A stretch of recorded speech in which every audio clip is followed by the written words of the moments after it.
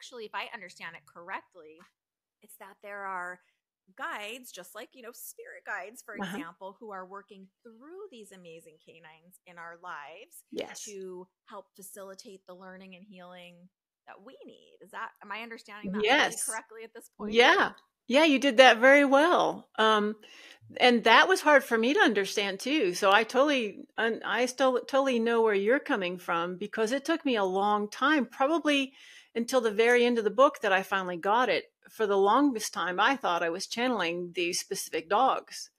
And it took me a while to figure out, oh no, that's, we're going a whole nother, another layer level above that. Yeah. So the, the the dog itself, the canine, has their own soul or their own energy, their own spirit. And depending on the evolution of that particular soul will determine whether it's still a community spirit or whether mm-hmm. they have broken out into their own individual spirit.